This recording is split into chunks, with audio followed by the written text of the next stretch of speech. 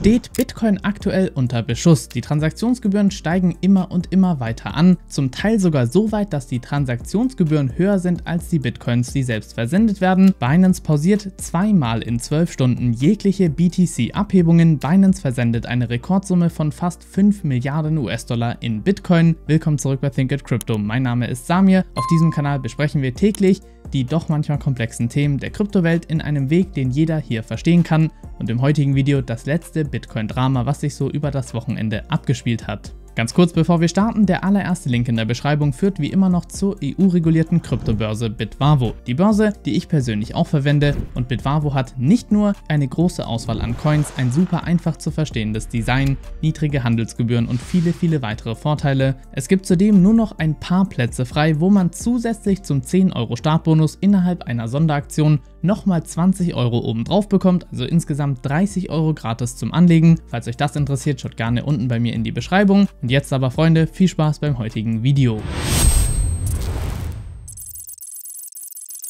So, Bitcoin wird am Samstag noch beim 30.000 US-Dollar Niveau abgelehnt und fällt dann über das Wochenende wieder bis auf so 28.000 Dollar. Eine Bewegung von ungefähr 6% und die dritte Rejection, die wir jetzt beim 30.000 Dollar Niveau gesehen haben. Nichts wirklich Überraschendes und der Grund dafür einerseits all das, was wir uns gleich anschauen werden, aber dann gibt es auch eine sehr technische Erklärung hierfür. Wie man das hier auf dem 4-Stunden-Chart von Crypto Bullet erkennen kann, seit ca. 30 Tagen formt Bitcoin ein fast perfektes Symmetrical Triangle, bei dem wir schon die A, B, C und D-Bewegung gesehen haben und das, was momentan passiert, einfach die finale E-Bewegung wäre, nach unten an unseren Support, bevor dieses technische Pattern einen finalen Ausbruch nach oben vorsieht. Ob es genauso passiert, das ist natürlich immer die Frage, aber so ein klar und deutliches Muster sollte man auf jeden Fall weiterhin im Auge behalten. Zunächst, bevor es richtig losgeht, wie jeden Montag, was steht diese Woche hinsichtlich Makroveröffentlichungen alles an? Tatsächlich gar nicht so viel und das einzige, über das man so wirklich Bescheid wissen muss, sind die CPI-Verbraucherpreise,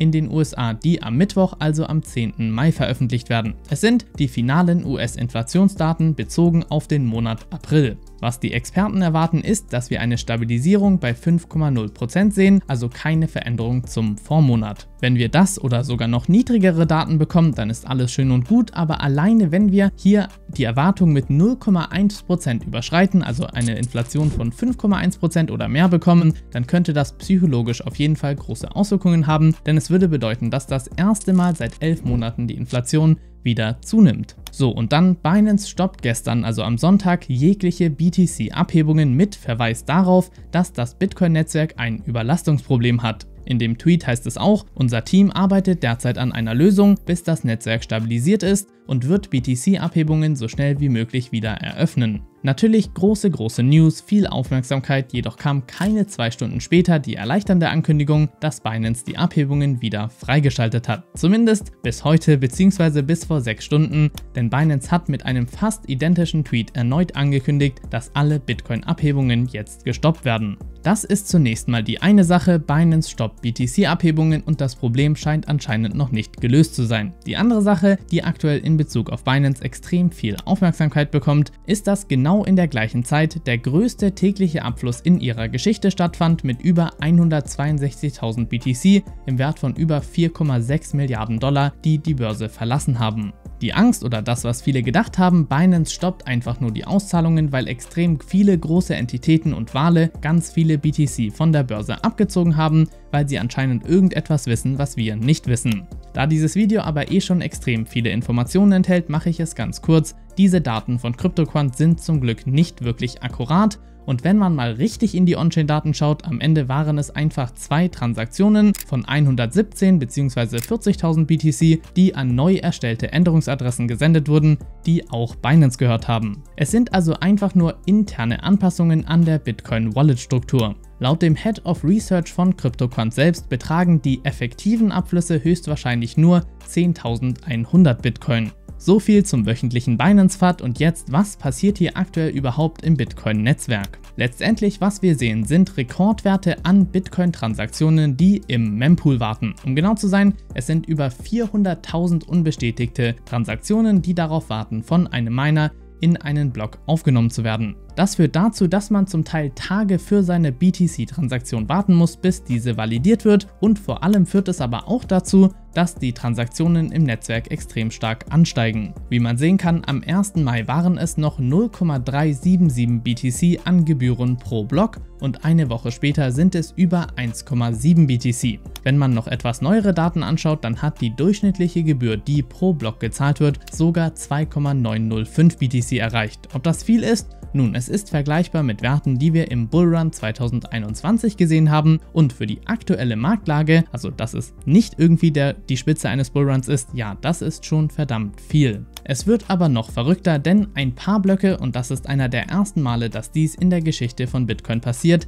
hatten mehr Transaktionsgebühren als die 6,25 BTC Block Rewards. Zum Beispiel enthielt Block 788.700 6.339 Bitcoin in Transaktionsgebühren, was so ungefähr 183.000 Dollar waren, mit einer durchschnittlichen Sendegebühr von 33,84 Dollar. Für Miner ist das aktuell natürlich das absolute Paradies, hier sind die durchschnittlichen Belohnungen komplett durch die Decke gegangen und für alle anderen bedeutet das, Bitcoin-Transaktionen unter 100 Dollar lohnen sich schon gar nicht mehr, denn ansonsten zahlt man einfach über 50% des Transaktionsinhaltes an Transaktionsgebühren. Bevor wir uns aber anschauen, was die Auswirkungen dafür sind, was ist überhaupt hier passiert. Kurz gesagt stammt diese Nachfrage nach Blockspace von sogenannten BRC20-Token, die quasi wie neue Token auf der Bitcoin-Blockchain sind. Es gibt eine große Menge an Leuten, die hier von einem Angriff auf Bitcoin sprechen, spezifisch von einer DOS-Attacke, also einer Denial of Service-Attacke, bei dem ein Angreifer versucht, das Bitcoin-Netzwerk mit einem hohen Datenvolumen zu überwältigen, mit dem Ziel, die normalen Funktionen des Netzwerks zu stören oder zu deaktivieren. Ob das aber realistisch ist? Nun, die Hochrechnung wäre so ungefähr 1,5 BTC pro Block, ca. 4 Millionen Dollar pro Tag, 130 Millionen im Monat und damit ungefähr